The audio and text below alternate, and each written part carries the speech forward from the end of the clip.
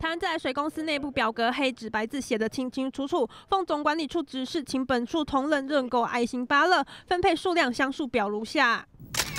两百二十箱，每箱三百元，十二公斤约二十四克，每公斤二十五元。每人必须购买零点三箱芭乐。有员工认为这是强迫购买吗？还是自来水公司要做人情给农委会？因为不久前农委会主委陈吉仲才要国营单位大量采购芭乐，说这样一周内芭乐价就可以从每公斤六块钱恢复成二十元。可能他在我们在沟通上哈，可能他在认知上有点落差吧。啊，事实上我们真的没有强迫说，哎，哪位员工要认购多少。不久后，自来水公司内部就出现这张爱心认购登记表，不免让员工质疑是马屁文化。伫遮啦，大家宣布，农民拢卖一公斤八块，我用一公斤啦，农民收降八块。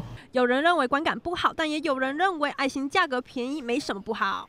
那天大家同仁都抢得很快，根本就没有给我机会认购。